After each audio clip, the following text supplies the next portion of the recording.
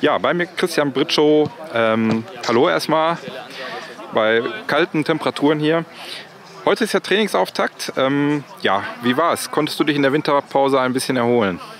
Ja, das auf jeden Fall. Ähm, klar, viel Zeit, schöne Zeit mit der Familie verlebt und ja, jetzt sind wir wieder alle voller Tatendrang und freuen uns endlich wieder hier auf dieser schönen Anlage zu sein. Die letzten zwei Partien vor der Pause waren sicherlich nicht so, wie du diese gewünscht hast. Ähm, ja, machst du dir da noch Gedanken oder ist das jetzt erstmal abgehakt und blickst du jetzt schon nach vorne und bist voll im Fokus auf die Restsaison? Wir sind schon im Fokus auf die Restsaison, aber ähm, diese Spiele aufzuarbeiten und dann nochmal drüber zu reden, ist natürlich klar, dass wir das machen. Wir haben ja auch zwei Spiele gehabt, die man komplett unterschiedlich einordnen muss. Das letzte war vom Ergebnis her natürlich sehr, sehr unschön, aber es war von der Leistung, zumindest die ersten 60, 65 Minuten, wahrscheinlich mit das Beste, was wir in dieser Saison gespielt haben. Von daher, ähm, der Fußball hat manchmal solche, solche Wendungen und solche Spielverläufe, das müssen wir einfach akzeptieren. Aber das war vom Ergebnis her nicht schlecht. Ach, vom Ergebnis her nur schlecht und nicht vom Spielerischen her. Und das Spiel gegen Frieden, ja, da sind wir auf einen Gegner gestoßen, ähm, der das gut gemacht hat, der das defensiv gut gelöst hat. Und da muss man auch ehrlich sagen, dass wir da keine gute Leistung abgeliefert haben. Von daher müssen wir das also zweigeteilt sehen. Wir haben mit einer etwas schlechteren Leistung einen Punkt geholt und mit einer richtig guten Leistung haben wir eine richtige Klatsche in Spockhövel bekommen. Aber das zeigt eben auch, wie eng diese Liga ist. Und wie gesagt, das gehört zum Fußball dazu. Das müssen wir, müssen wir so hinnehmen und damit kommen wir auch klar. Gut, dann blicken wir auch mal in die Zukunft. Nämlich, ähm, wir haben jetzt drei Neuzugänge mit Mike, Jake und äh, Sammy. Ähm, ja, und äh, dem entgegen stehen jetzt im Moment vier Abgänge mit ähm, Nico, Casey, Russell und René. Und wenn wir, müssen wir eigentlich auch noch Basti Kleine äh, zuzählen, wo wir noch nicht wissen, wie es so weitergeht. Ne? Ähm, ja, wird noch was passieren diesen Winter? Also Basti lassen wir erstmal außen vor. Basti tritt kürzer und wird die Vorbereitung noch ähm, größteilig mit absolvieren. Und da müssen wir einfach mal sehen, wie es seine Zeit und seine Familie ähm, zulassen, dass er uns noch weiter zur Verfügung steht. Es war schon richtig, dass es vorerst sein letztes Spiel war vor der Winterpause. Wie gesagt, wir werden es wir dann sehen.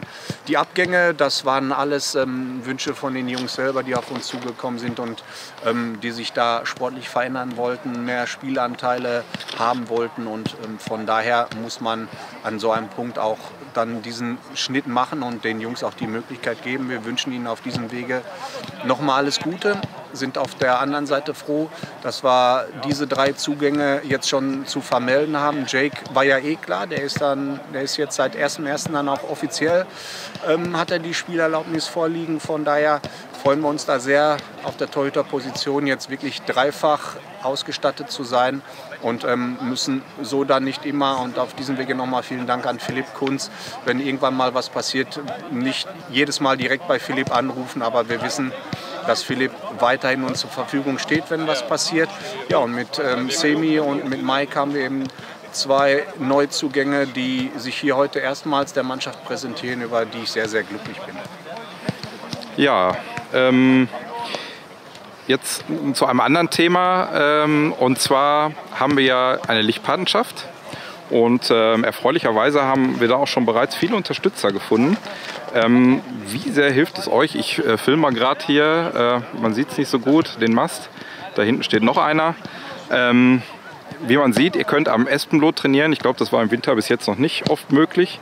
Ja, ähm, wie sehr hilft euch das, dass ihr hier heute spielen könnt und trainieren könnt? Ja, das hilft uns total und zwar nicht nur uns, sondern dem ganzen Verein. Also wenn wir hier jetzt nicht trainieren könnten, müssten wir zur Berliner Straße, würden da wieder mit der Jugend ähm, um die Trainingszeiten ähm, uns auseinandersetzen müssen und das wäre natürlich für, für beide Seiten sehr, sehr unschön. Wir sind froh, dass wir hier auf unserem geliebten Naturrasen trainieren können und ohne diese Lichtpatenschaften wäre das eben absolut nicht möglich. Von daher auf diesem Wege vielen, vielen Dank. Das, was ihr hier in meinem Hintergrund seht, ist nur möglich dadurch, dass wir diese Lichtmasten haben und ohne die würden wir jetzt hier auch nicht gar nicht stehen, weil da wäre es echt fast stockdunkel und da kannst du dann eben auf diesem Niveau nicht trainieren. Von daher vielen, vielen Dank dafür.